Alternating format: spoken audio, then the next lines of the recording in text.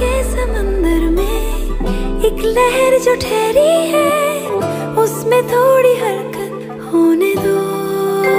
हाँ, शायरी सुनाती इन दो नशीली आँखों को, मुझको पास आके पढ़ने दो।